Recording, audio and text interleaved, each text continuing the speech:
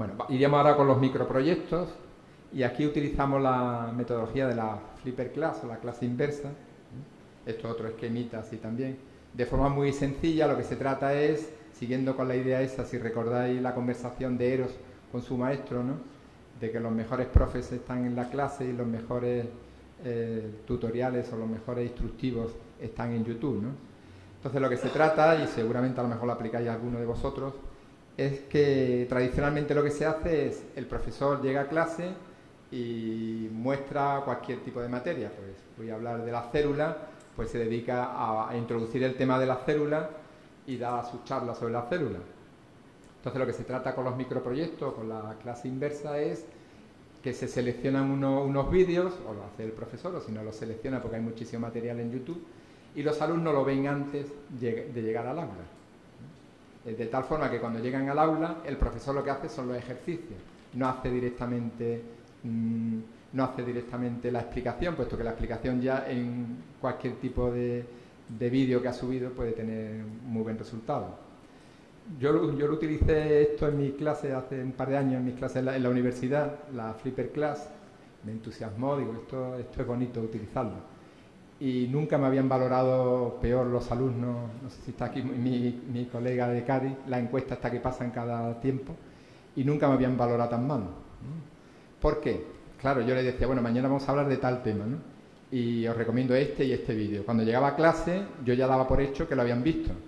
Entonces, empezaba a aplicar algo. Claro, ellos no, no me seguían porque no habían visto esos, esos vídeos, la mayoría, digamos, por no decir el 90% no habían visto los vídeos. Entonces, claro, algunos fue enfadado de que mi trabajo era explicar, no que ellos trabajaran por mí, hubo algunas críticas así un poquito violentas. Pero bueno, yo aguanté hasta el final, porque hay que aguantar hasta el final hasta que no te convenzan de lo contrario, ¿no? No porque alguien te hable mal, uno tiene que bajar la guardia. Si te convence, sí, pero si no te convence, que digan lo que quieran, ¿no? Es como la cuesta esta, la hemos subido porque estamos seguros que arriba estaría el maná, pero si no, no, no lo subimos, ¿no? Entonces, lo que sí es cierto, aparte de me valoraran muy mal, eh, que eh, aprobaron muchísimos alumnos. Y ese es el dato que a mí me convence. Es decir, eh, aprobaron muchísimo, yo suspendía bastante, como un 30, y aquí aprobaron como un 40, un 50% de los alumnos. Es decir, que ese tipo de metodología, los alumnos son muy reacios a utilizarlo porque no quieren hacer nada fuera de clase y tal, pero el resultado puede ser bueno, lo digo por si lo queréis intentar. Lo ideal siempre es trabajar una metodología mixta, darle material audiovisual, pero siempre creando la obligación. Hay diferentes tipos de recursos que nos puede permitir si realmente ha visto el vídeo, que se pare y haga preguntas y cosas de esto. Y aquí he puesto la portada de un libro, que antes lo comentaba José, muchas gracias por la presentación. Eh, y este libro fue una experiencia que hicimos en Uruguay. Uruguay es un país muy pequeñito, tiene como 3 millones de habitantes, 3 millones y algo. Y las escuelas de educación especial, hay 45, pues seleccionaron a dos profesores de cada una de las escuelas y se le dio formación durante nueve meses. Entonces, fruto de ello fue un trabajo que nos lo encargó UNESCO hicimos esta publicación que la podéis bajar si queréis de internet. ahí trabajan con una máquina que es la laptop, que es una máquina pequeñita, la XO que le llaman, pero yo creo que la metodología a lo mejor, si os puede ayudar, pues estupendo. Y si me podéis hacer cualquier comentario o cualquier cosa, también, también lo agradezco. Bueno, aquí tenía yo puesto dos vídeos, pero como no tenemos sonido, me dijiste que no se escuchaba, ¿no? ¿O sí? ¿Se escuchaba o no? ¿Sí?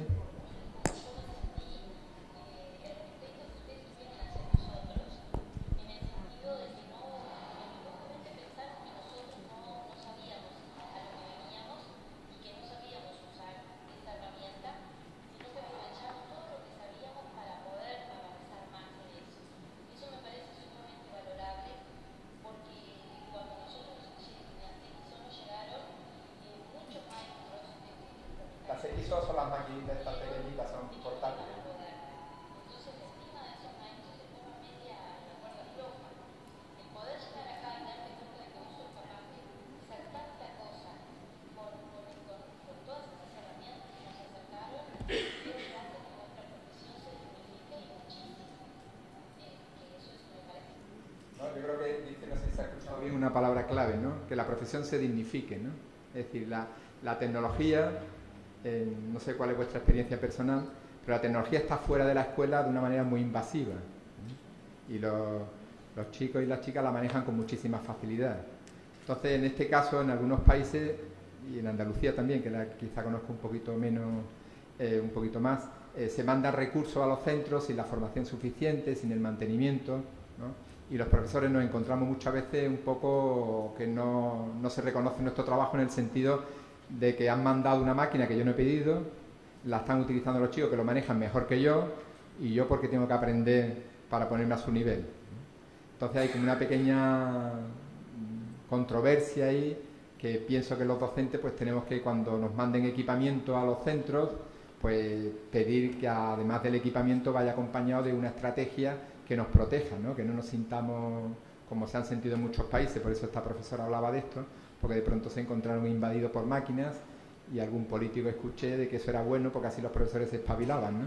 Entonces, claro, ese tipo de, de afirmaciones o ese tipo de consideración de la profesión pues me parece que, no son correctas, ¿no? porque eso no lo harían en medicina ni en ninguna otra profesión, y sin embargo en educación si mandan materiales y tú tienes que aprender esos materiales cuando además no subieron las horas y todo eso. Entonces me parece interesante la, afirmación de esta, colega. Bueno, aquí he puesto este ejemplo de un colegio de Madrid, de cómo practica la Flipper Cloud, la clase inversa, ¿no? utilizando tecnología y me gustó porque primero lo que hace es, junto con, con lo que hace primero es con alumnos suyos, este profesor, eh, prepara los materiales en vídeo, muy sencillo, eso con una, una con un móvil se puede grabar, ¿no? Entonces está la suma y resta con decimales. Entonces dice, vamos a tratar este tema, pero luego lo vemos en la segunda parte. Y yo para qué voy a explicar en la pizarra esto, si podéis encontrar un, un vídeo que lo explique mejor que yo. Entonces lo que se trata es, si no se escucha la voz, es un alumno el que lo está haciendo, me parece muy, muy útil, y luego este alumno esto lo cuelga en internet y el alumno lo puede ver en su móvil, lo puede ver en tablet, lo puede ver donde sea.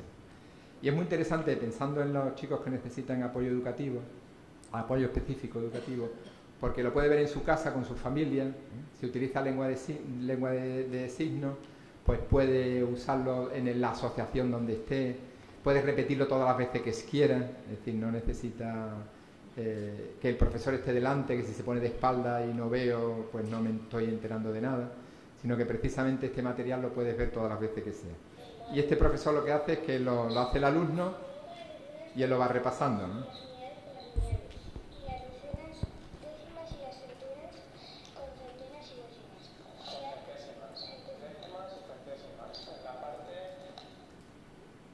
otra ventaja que tiene el utilizar también vídeos para la formación es que el chico lo va a ver en su propio móvil. Imaginaos que va a clase de algo y está esperando el autobús, está esperando lo que sea, y a ver mañana de mi profe a ver qué, vídeo ha subido, ¿no? Y lo está viendo allí en su contexto, lo está viendo en su aparato que es suyo, personal, no es la escuela, es el suyo, está viendo una materia curricular, cuando nunca había visto ninguna materia curricular lo puede compartir con el compañero que está al lado. Mira, mañana tenemos esto y yo la verdad que esto no lo entiendo. Y el compañero le puede ayudar. Y le estamos dando una posibilidad que hasta ahora no, se tenía.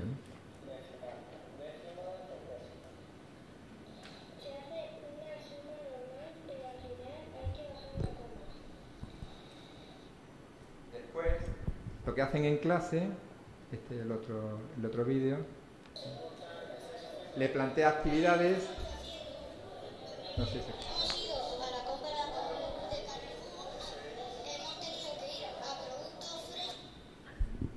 Sabemos que eh, aprender a sumar y restar no se trata de, poner numeritos encima y numeritos debajo y ver lo que pasa, sino aplicarlo en la realidad. ¿no?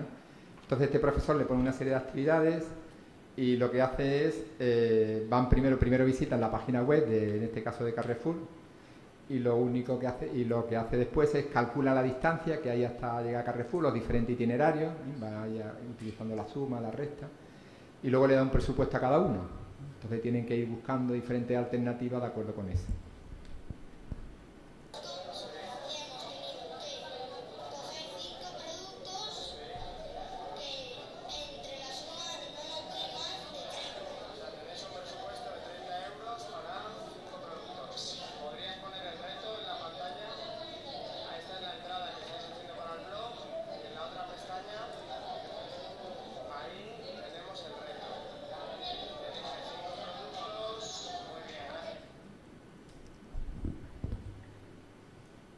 Esto es un centro de Cataluña, de Barcelona, un centro de, mayores.